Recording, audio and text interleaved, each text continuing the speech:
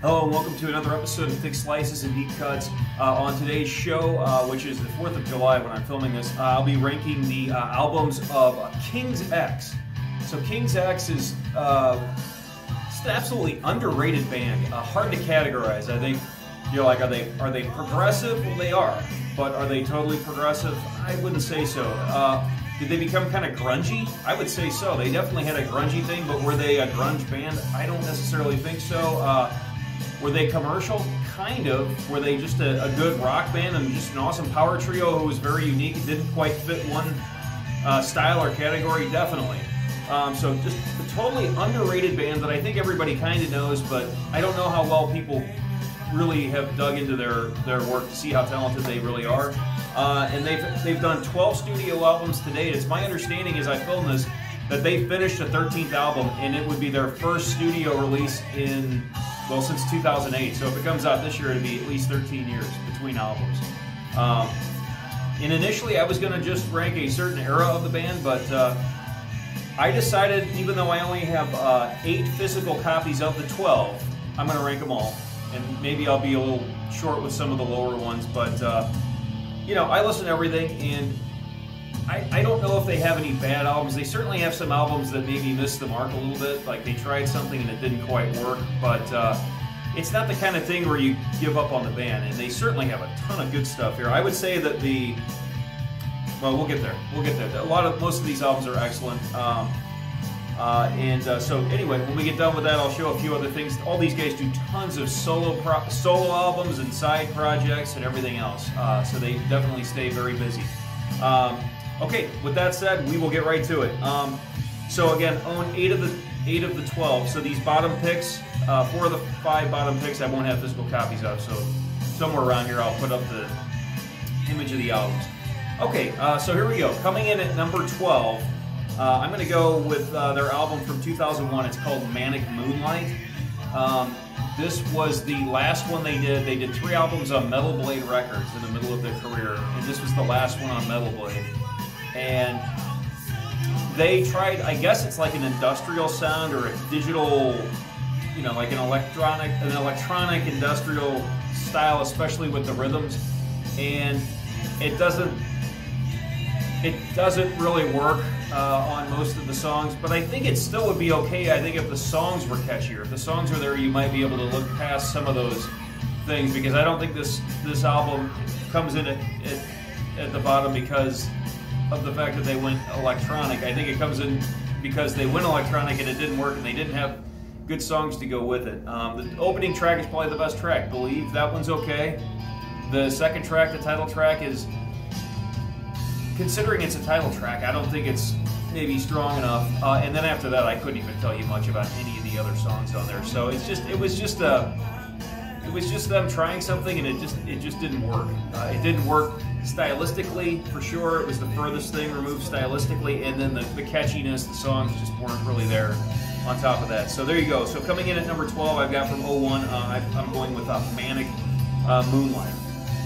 Uh, and then at number uh, 11, uh, I'm going with the album after Manic Moonlight in 2003. Uh, it's called Black Like Sunday, and this was their first one on Inside Out Records. Um, and this one is, it's my understanding that these songs, a lot of songs, long album. Um, it's my understanding these songs are either left over that didn't make an album, never found a home, or were things that they wrote in the 80s before they even became King's X or before they released their first album. So these songs are a little bit all over the place, a little definitely straightforward, just rocking. You know, not. Uh, you know, I mentioned they're kind of progressive. I don't think there's really much of anything on this album that's that's very progressive. That said, it doesn't have to be progressive to be good. The title track, right, you know, to open the album Black Like Sunday is one of their best songs. So even though I'm ranking this 11 and 12, that song is really good. Black Like Sunday. Um, there's another song on there, uh, 11 minute song called Johnny, which I kind of like. Uh, it's kind of the, I don't know if it's an oddball because it's not an odd song. It's just the oddball in that it's kind of you know, they let it breathe for 11 minutes and jam on it for a while, so that one's cool. There are a couple other songs, uh, like Bad Luck, that has a cool riff in it, maybe doesn't hook into the chorus that all that well. And the production is pretty garage rocky in spots, and I think that was probably by design. Um, So there you go. Um, so coming in at number 11, uh, Black Like Sunday from 2003. Um, and so coming in at number 10, I, I guess I have a physical copy of this. And what does that mean? Well, I have Ogre Tones from 2005. I have a promo copy, just a little sleeve. Um, so Ogre Tones from 05, also on Inside Out Records. Uh, I think a lot of people like this album quite a bit because uh, this was the one after Black Like Sunday, and Black Like Sunday was the one after Manic Moonlight. So we're kind of going 0103 now 05 at number 10. And I think the fans like this because it's more of a return to the King's X familiar with. No experimentation or digging up old old demo songs. And so it does sound more like uh, King's X, but you know the songs aren't always there. Uh, you know, I think "Stay" is a classic. It's the second track. You know, "Alone" is okay. It's fine. It's not great. It's okay. I think there's a lot of that on here. A lot of these songs are they're okay. Uh, "Fly" is pretty cool. "If" is all right. And then the second half of this album just not much that I remember. So it's, you know, Alone, Stay is probably the best, Fly, If. So it's got a few tracks up towards the front half of the album. And it's it's okay. It's it's okay, but I don't I don't obviously I don't rank it as highly as maybe the uh, the general King's X fan might, but so it's coming in at 10 of 12 and it's okay and if you like King's X to just sound kind of like they had uh, on the albums prior to um, you know, Manic Moonlight and Black Like Sunday, you'll probably be just relieved that they kind of got back to something uh, familiar. So there you go. At number uh, 10, I'm going with, uh, from 2005, I'm going with Ogre Tones. Um, okay, uh, so coming in at number 9, um, keep moving forward, I'm going with the album after Ogre, Ogre Tones, and it's their third and final one on Inside Out Records. Uh, it's called 15 or XV, which I don't understand because it wasn't their 15th album, and it wasn't 15 years after the band started, and so I don't. I'm not sure what 15 means, unless they're counting some live albums or something. Um, I think. Um, I think that 15 is pretty much just overtones Tones continued. It's like Ogre Tones Part 2, but for some reason the songs on, on 15 I like a little bit more. Um, and I mean, the song Go Tell Somebody one of my favorite songs they've done, period. It's got a cool little busy little riff, and then they just go into a slamming grungy kind of dirty, grungy, heavy riff, and you know, you just let Doug Pinnick take over. And by the way, I haven't mentioned this, but this is a power trio.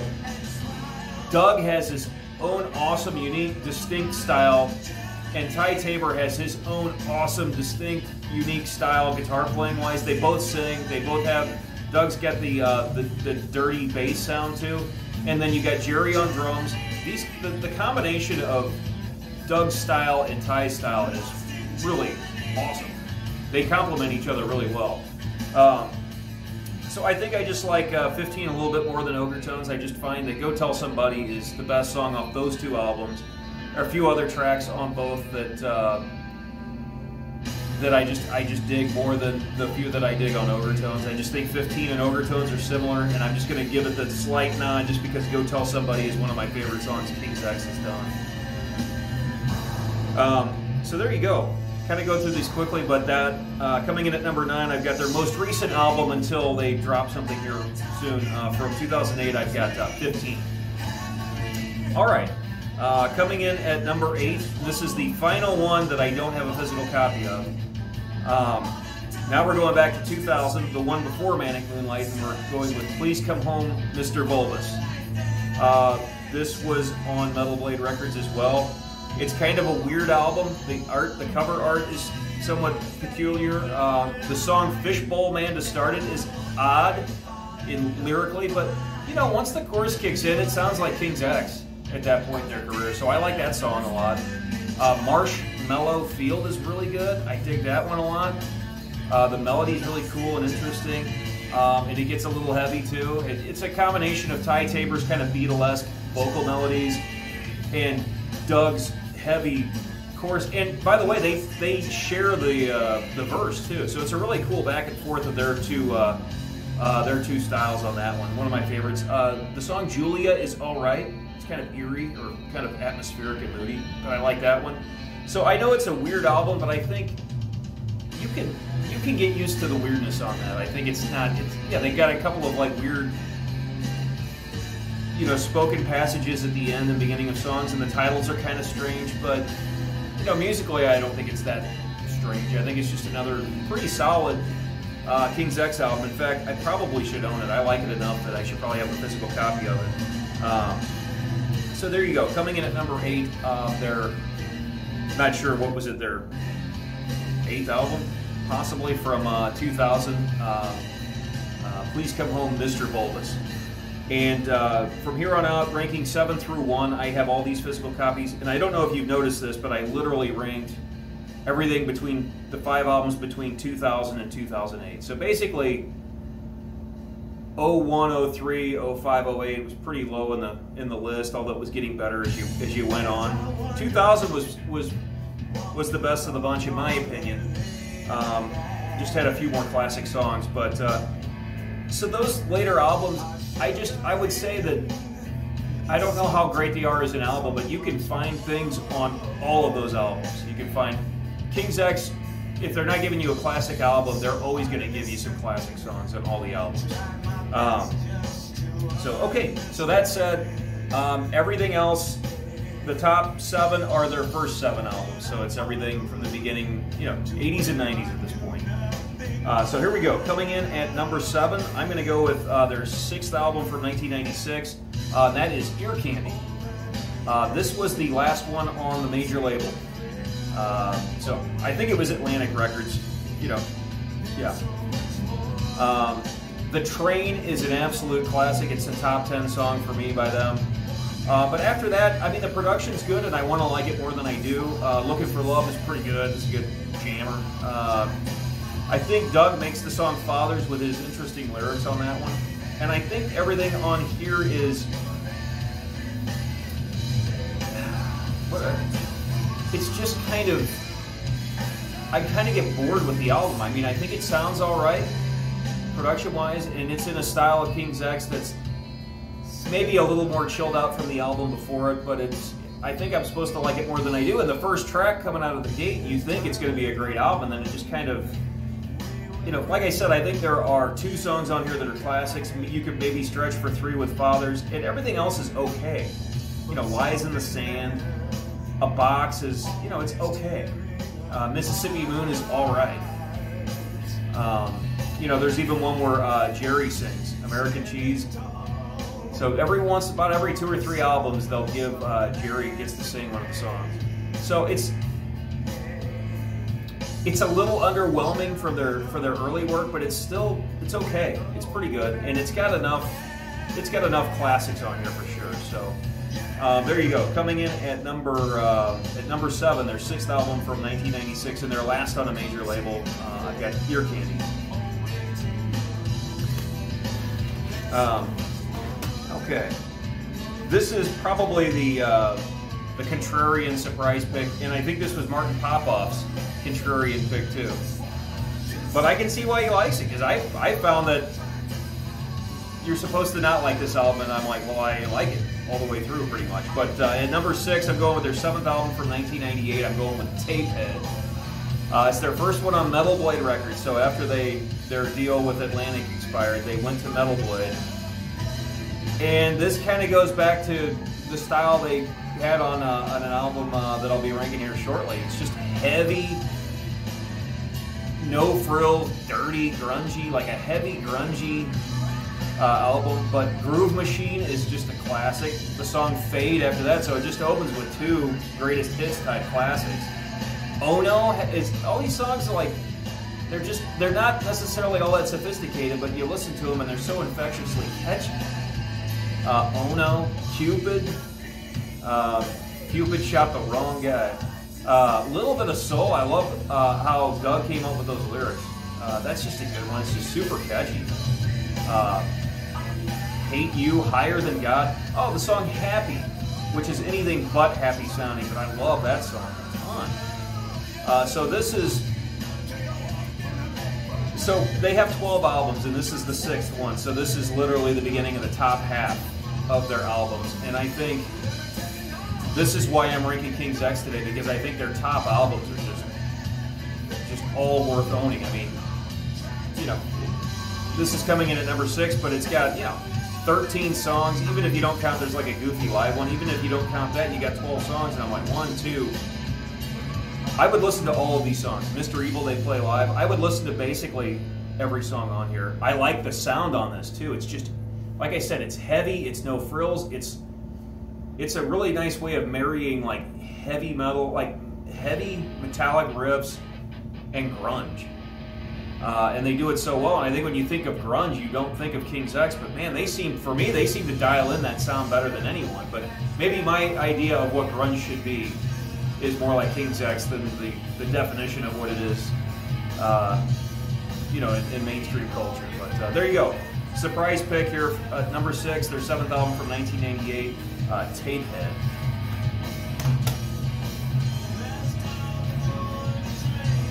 Um, okay, so the top five are the first five albums. Uh, the top seven are the first seven, but the top five are the first five albums they did. Um, so here we go. Coming in at number five, uh, their third album from 1990, I'm going with Faith, Hope, Love.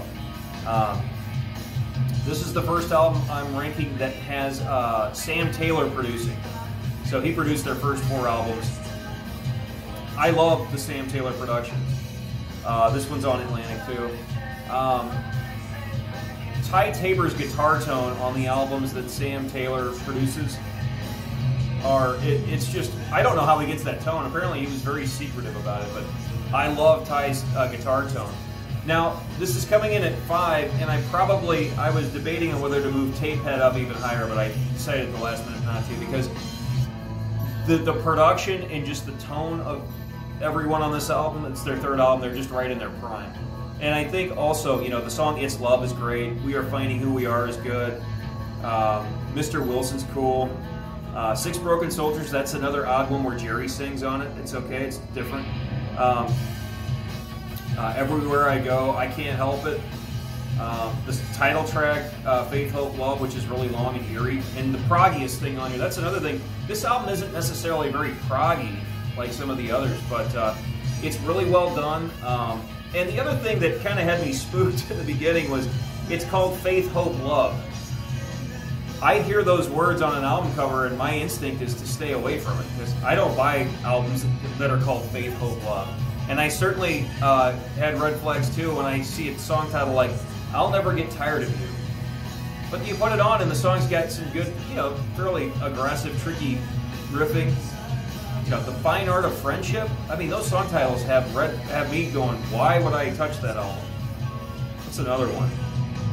Uh, oh, Moan Jam's a good jam, uh, jam out song. Um, you know, We Were Born to Be Loved. Those song titles, uh, the song Faith, Hope, Love, I mean, those song titles just had me wanting to steer clear. But uh, once you accept that and listen to it, it seems like those are just words and it doesn't matter. And the, and the album is fine. Um, the thing I don't get title wise is that the last track, after all that positivity and love and friendship, and, and then the last track is called Legal Kill. But it's not heavy. So I just I don't I don't understand that. But anyway, I think I think I've been pretty diff, pretty tough on this album because maybe it's not as good as the ones before it, but it's still good, and I have to get over the fact that there's a lot of the word love and faith and friendship and all those positive things that we should probably strive for. But somehow in the musical realms, I see those things, and I, I it kind of kind of makes me want to stay away. But it's a good album, and it's coming in at number five uh, from 1990, their third album, uh, Faith, Hope, Love. Okay. Here's one that gets a lot of criticism, but I, I and I can understand, but I still dig it because I still dig most of these songs. Uh, from 1992, their fourth album, self-titled King's X. Uh, I don't know if you can see the band there. I don't know if there's a glare or not, but there they are. Anybody that knows Doug knows that he used to have a, uh, a big uh, mohawk. It always looked pretty cool. People are critical of this album, but I mean, the world around me just comes out great. This is the, the fourth and final one they recorded with Sam Taylor, so it's also the fourth and final one where Ty Tabor has that awesome guitar tone. The World Around Me comes out fast and kind of blitzing for them. Prisoner's awesome. Uh, Lost in Germany. The Ooh song. Uh, Black Flags on here. So I just, I feel like, uh, you know, the big picture. Um, I just feel like, you know, there are 11 songs on here. I like at least six of these a lot. So everything I like on here, I like a lot. It would be like on a compilation or a greatest hits. So it's just the songs that are good are really good, and over half the album is really, really good. It, you know, the four with Sam Taylor are all very related. They're they all have their distinct little flavor, but they're all very related. Uh, and I always thought this was. Uh, I think other people would disagree with me, but I always thought this was the better version of what Faith, Hope, Love, what they were trying with Faith, Hope, Love. I thought they got it. They got it right here. I would say if you could take off, you know, put the the, the top half of Faith, Hope, Love with, with the greatness of this album, man, you have probably the best the best album they've done. But uh, just a great great album. It's too bad they ended their uh, relationship with Sam Taylor, but maybe after four albums, maybe it's time for a change. But uh, everything the four they did with him were just top notch. So there you go. Uh, at number uh, four, their fourth album, self-titled, uh, from 1992, and Black Flag is one of the biggest songs they had. I, I, mean, I remember that as a video. So, but there you go. Number four, uh, self-titled from '92.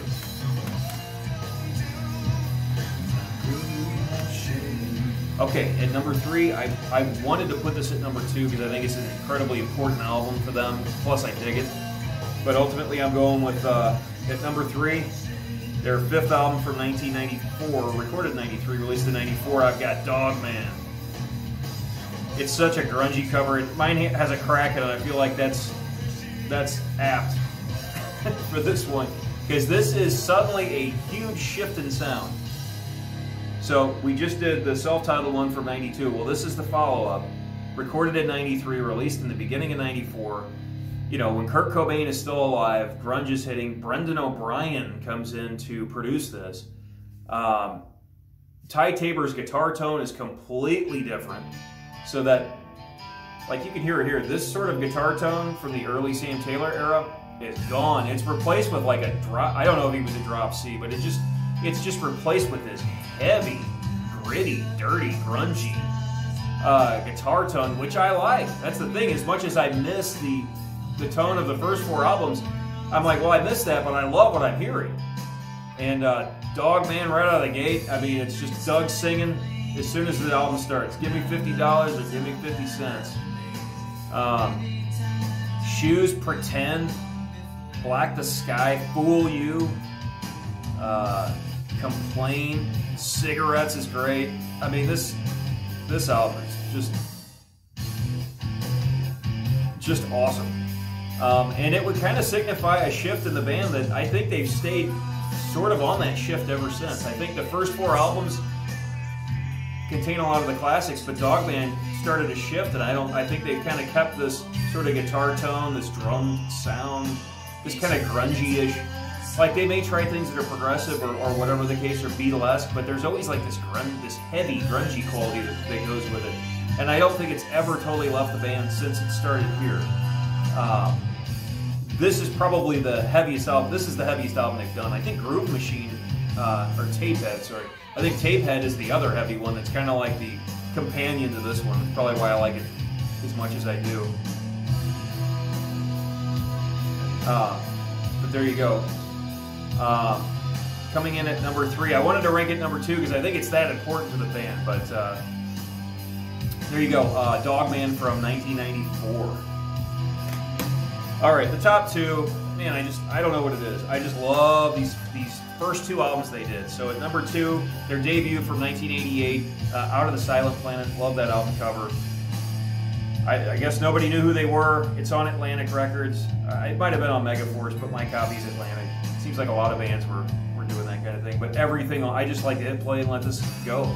It's just them doing a certain specific style I like. In the New Age is cool. Goldie, Goldilocks, I know it's called Goldilocks, but I love that song. Even a song called Power of Love. Again, these guys get away with it. Uh, Wonder, uh, King is great. What is this? Uh, far, far away. Man, his vocal at the very end of that song is just incredible. Uh, Visions is great. So like a live one that they do.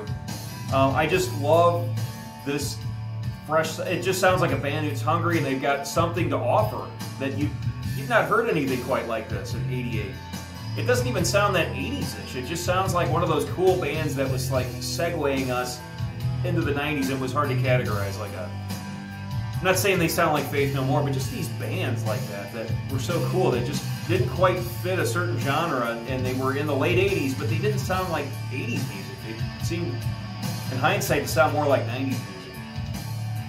Jane's Addiction might fall in that category. And again, not that this sounds like that, but just one of these cool bands that pushed things forward. Uh, so there you go. I love this album.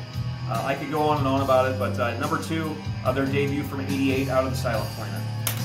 And so at number one, and I think most people would say this is number one. It's the first thing I ever heard from them. Uh, their second album from '89, I've got Gretchen Goes to Nebraska with that pretty cool cover art. The song Out of the Silent Planet. So this is called Out of the Silent Planet, but the song Out of the Silent Planet is here. It kind of reminds me of when Led Zeppelin released an album called Houses of the Holy, but then on their next album, Physical Graffiti, they had a song called Houses of the Holy. Um, Over My Head might be their biggest hit. It's the first thing I ever heard on KSHE95's Monday Night Level. They played Over My Head, and I was like, that is cool.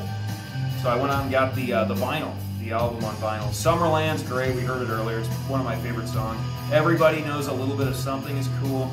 The difference is really cool. I'll never be the same. Mission Fall on Me, Pleiades, we're listening to now. Uh, it's just, it's their best album. Again, it's just like their first album. This one, you just hit play and go. You can really do that with like the first five albums, but early King's X, if you're not knowing where to start, you know, and obviously if you look at my ranking, you get an idea, but my, my thought on King's X, if you're not sure where to start, I just say start at the beginning. You know, you can find good things in those first five albums. You can probably find good things in the first seven albums You can probably find good things in the first eight albums. And if you want to keep going, just keep on going. Um, but there you go. Gretchen goes to Nebraska at number one. Uh, so real quick uh, to rank, re-rank here. Uh, at number 12, Manic Moonlight. Uh, at number 11, Black Like Sunday. At number 10, uh, Ogre Tones. At number 9, uh, 15. At number 8, Please Come Home, Mr. Bulbous. at number 7, Ear Candy. At number six, uh, Tapehead. Uh, at number five, uh, Faith, Hope, Love. If you can hear it, we're listening to that song right now. It's a little quiet. Uh, at number four, their self-titled King's X from 92. At number three, I've got Dogman. Uh, at number two, uh, Out of the Silent Planet. And at number one, uh, Gretchen Goes to Nebraska. Um, what else?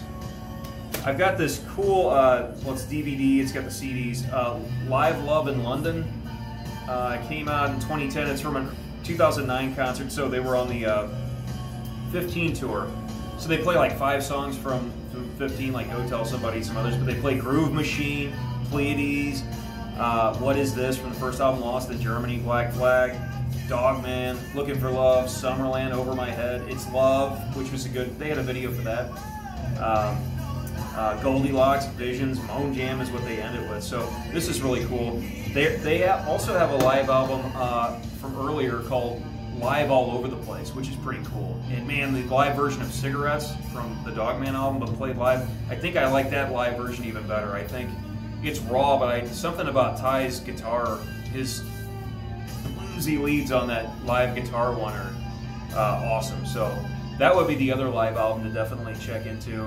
Um, and it came out during the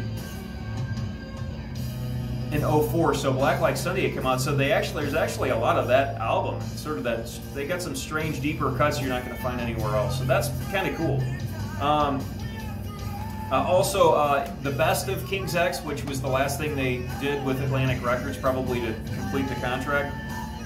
It's got a pretty good selection of stuff uh, from their first album up through Ear Candy, but they uh, they give you three new tracks on there, which were recorded in '96. I'm thinking they're outtakes from the Ear Candy sessions, but you, if you get that greatest hits, thinking, oh, this is a waste of money, I already have all this. Well, you get three new songs from the Ear Candy sessions, and I think there's like a live version of Over My Head from, uh, um, what was it, from uh, Woodstock. Oh, and then last but not least, uh, they all do solo albums. I've been digging Ty Tabor. This is called Moonflower Lane, but Safety is another one he has that's awesome. Uh, Doug Pinnick has a ton. they all have side projects. I never listen to these, but I do have uh, Platypus. It's got uh, Ty Tabor with John Myung of Dream Theater, Rod Morgenstein, and uh, Derek Sherinian.